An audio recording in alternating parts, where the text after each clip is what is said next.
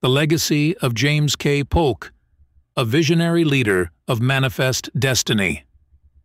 Today we delve into the life and legacy of one of America's lesser-known yet immensely consequential presidents, James Knox Polk. Often overshadowed by his more illustrious predecessors and successors, Polk's presidency, spanning from 1845 to 1849, was marked by extraordinary achievements that fundamentally shaped the course of American history. James Knox Polk was born on November 2, 1795, in Pineville, North Carolina, which was then part of Mecklenburg County. His family had humble beginnings. His father, Samuel Polk, was a farmer and surveyor, while his mother, Jane Polk, came from a family of Scottish-Irish descent. James was the eldest of ten children, and his upbringing was shaped by the challenges and opportunities of the American frontier. Despite the hardships of frontier life, young James showed promise and intellectual curiosity from an early age. He attended local schools and received his primary education in North Carolina. At the age of 11, his family moved to the Duck River Valley in Tennessee, where James continued his education under the guidance of private tutors. In 1815, James Polk enrolled at the University of North Carolina at Chapel Hill, where he distinguished himself as a diligent and scholarly student. He graduated with honors in 1818, showcasing his intellect and dedication to academic excellence. Following his graduation, Polk returned to Tennessee and embarked on a career in law and politics. He studied law under renowned attorney Felix Grundy and was admitted to the Tennessee bar in 1820. Polk's legal career flourished, and he quickly gained recognition for his sharp intellect and oratorical skills. In parallel with his legal practice, Polk pursued a career in politics, aligning himself with the Democratic-Republican Party and later the Democratic Party. In 1823, at the age of 28, he won election to the Tennessee state legislature marking the beginning of his political ascent. In 1824, James K. Polk married Sarah Childress, a well-educated and cultured woman from a prominent Tennessee family. Sarah would become a trusted advisor and confidant to James throughout his political career, playing an active role in his campaigns and administration. The Polks had no children of their own, but they had a close relationship with several nieces and nephews, whom they helped raise and support financially. James K. Polk's political career was marked by ambition, strategic maneuvering, and a steadfast commitment to advancing his vision for the nation. From his early days in the Tennessee state legislature to his historic presidency, Polk demonstrated a knack for leadership and a keen understanding of the political landscape. Polk's foray into politics began in 1823 when he was elected to the Tennessee state legislature at the age of 28. His tenure in the state legislature allowed him to establish himself as a rising star within the Democratic Party, where he championed policies aimed at promoting economic development, expanding infrastructure, and advocating for the interests of small farmers and landowners.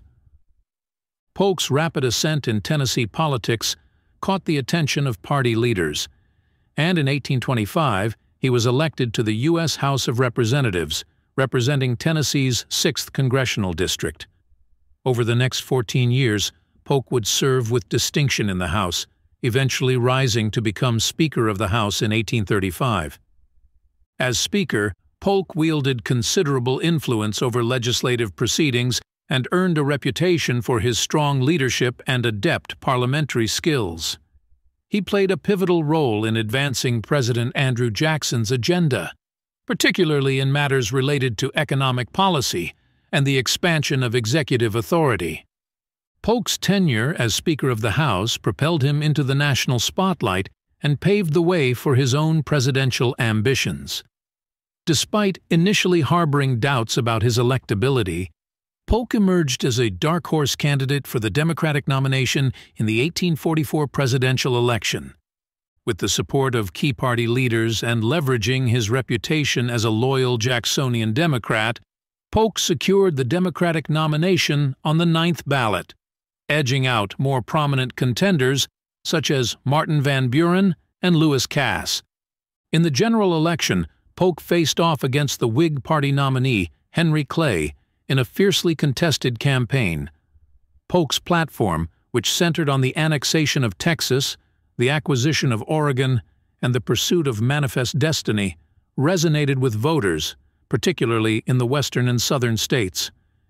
In a narrow victory, Polk won the presidency, becoming the 11th President of the United States.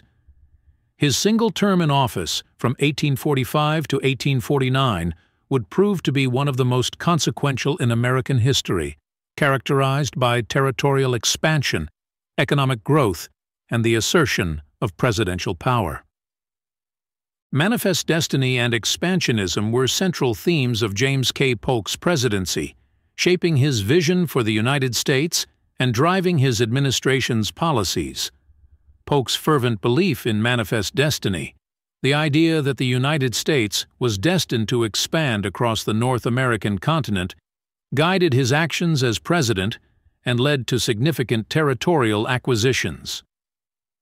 Manifest destiny was a widely held belief in the 19th century that America was destined by God and history to expand its boundaries across the continent. It was fueled by a combination of religious fervor, nationalist sentiment, and a desire for territorial expansion. Advocates of manifest destiny viewed westward expansion as both inevitable and morally justified, asserting American exceptionalism and the superiority of democratic institutions. James K. Polk wholeheartedly embraced the principles of manifest destiny and made territorial expansion a central goal of his presidency. From the outset of his administration, Polk sought to fulfill what he perceived as America's divine mission to expand its territory from coast to coast. One of Polk's first priorities upon assuming office was the annexation of Texas, which had declared independence from Mexico in 1836. Despite opposition from anti-slavery forces and concerns about provoking war with Mexico, Polk successfully orchestrated the annexation of Texas through a joint resolution of Congress in 1845. Texas's annexation as the 28th state of the Union furthered America's territorial ambitions and set the stage for conflict with Mexico. In addition to Texas, Polk sought to expand American territory in the Pacific Northwest by asserting U.S. claims to the Oregon Territory, which was jointly occupied by the United States and Britain under the terms of the 1818 Treaty of Joint Occupation. Polk's campaign slogan in the 1844 election, 5440 or Fight, reflected his determination to assert American sovereignty over the entire Oregon Territory up to the 54-40D parallel. Polk's most controversial and consequential act of expansionism was his prosecution of the Mexican-American War, 1846-1848. The war was precipitated by border disputes and Polk's desire to acquire additional territory from Mexico, including present-day California and the Southwest.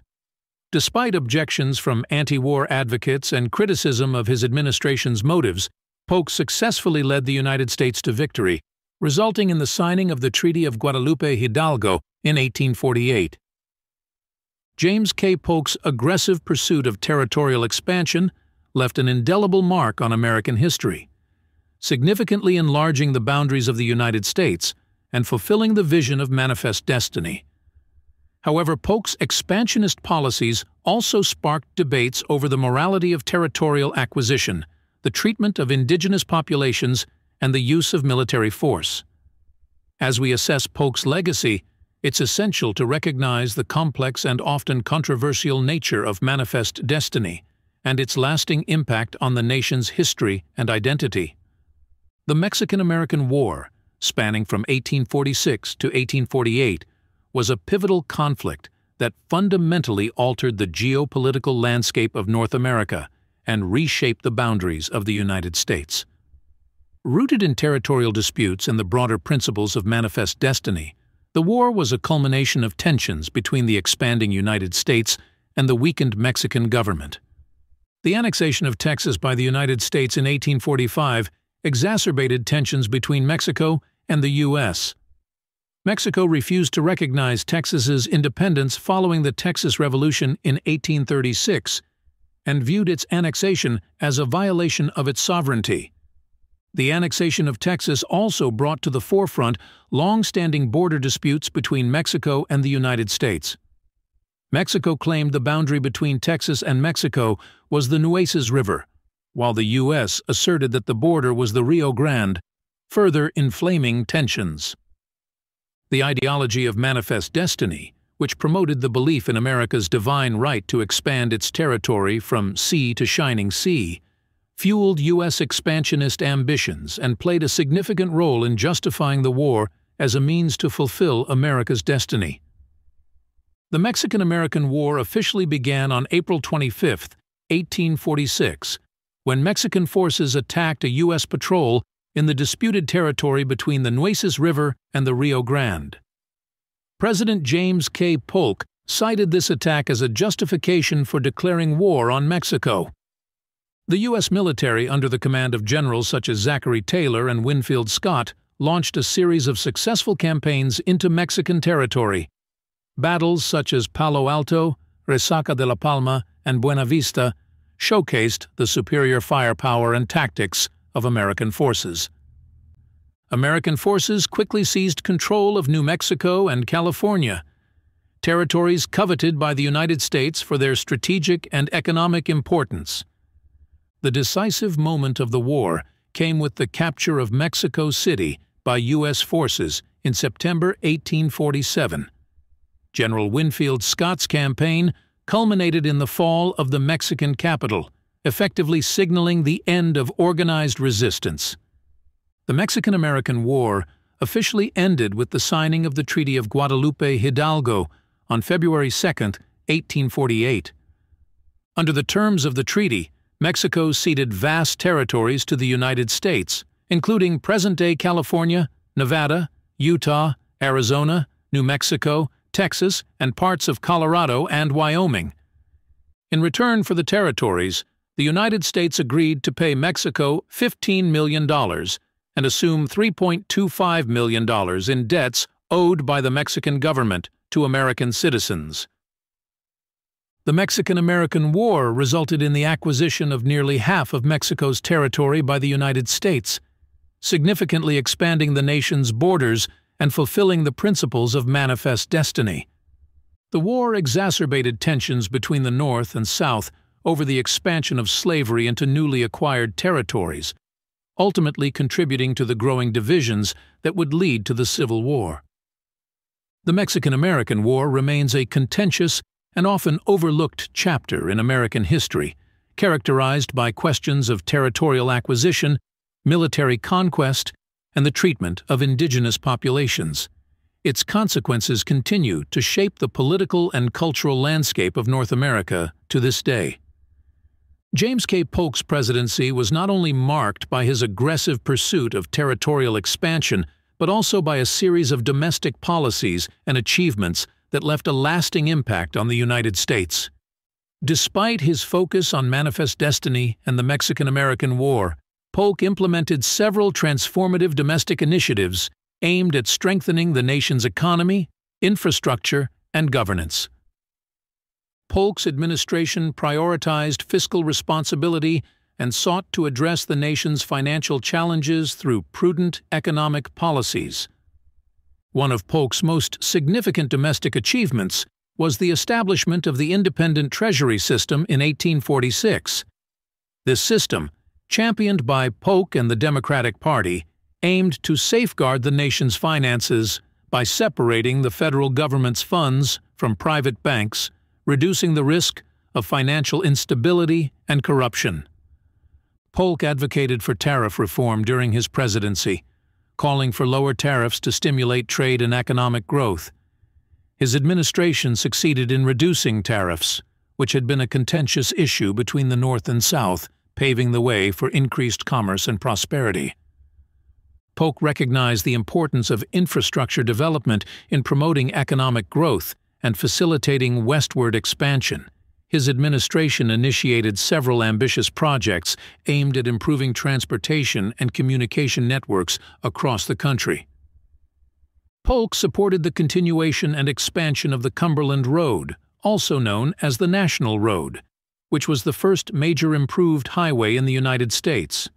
The road provided a vital link between the eastern states and the western frontier, facilitating trade and settlement. Polk's presidency coincided with the rapid expansion of the telegraph system in the United States. While not directly involved in its development, the telegraph revolutionized communication by enabling real-time transmission of information over long distances, connecting distant regions, and facilitating economic and political coordination. Polk's expansionist policies opened up vast new territories for settlement and development, laying the groundwork for the westward expansion of the United States. The outcome of the Mexican-American War led to the acquisition of California, New Mexico, and other territories in the Southwest.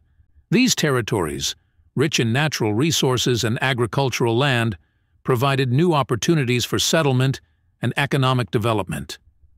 Polk's presidency coincided with the beginning of the California Gold Rush in 1848, which attracted hundreds of thousands of prospectors and settlers to the region in search of gold. The gold rush stimulated economic activity, spurred population growth, and contributed to the development of California as a state.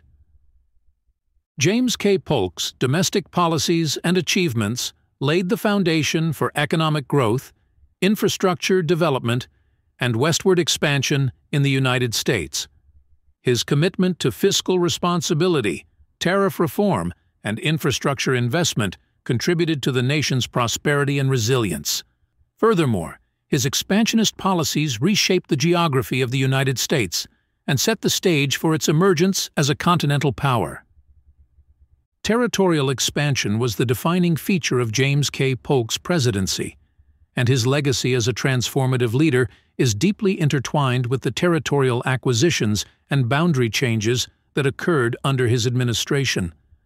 From the annexation of Texas to the acquisition of vast territories in the Southwest through the Mexican-American War, Polk's vision of manifest destiny reshaped the map of the United States and laid the groundwork for its emergence as a continental power. Polk's presidency began with the annexation of Texas, a territory with a long history of conflict and independence from Mexico. Despite initial opposition and concerns over the expansion of slavery, Polk successfully orchestrated the annexation of Texas as the 28th state of the Union in 1845. This bold move furthered America's territorial ambitions and set the stage for conflict with Mexico. Polk's expansionist agenda extended to the Pacific Northwest, where the United States and Britain had competing claims to the Oregon Territory. Polk's campaign slogan in the 1844 election, 54, 40 or fight, reflected his determination to assert American sovereignty over the entire Oregon Territory up to the 54 degree 40 C parallel. While a compromise was eventually reached with Britain, the Oregon Treaty of 1846 secured significant territorial gains for the United States, expanding its reach to the Pacific Ocean. James K. Polk's legacy as a champion of territorial expansion is complex and multifaceted, leaving a lasting imprint on the geography and identity of the United States. However, Polk's legacy is also marked by controversies and unresolved questions about the morality and consequences of his expansionist policies. The Mexican-American War, in particular, remains a contentious chapter in American history, raising ethical dilemmas and debates over the use of military force and the treatment of indigenous peoples. James K. Polk's presidency stands as a testament to the power of vision, leadership, and determination in shaping the course of a nation. Despite the passage of time, his legacy continues to inspire and provoke debate, reminding us of the complexities of American history and the enduring quest for progress and expansion. Thank you for your time. Be sure to like and subscribe if you liked this video.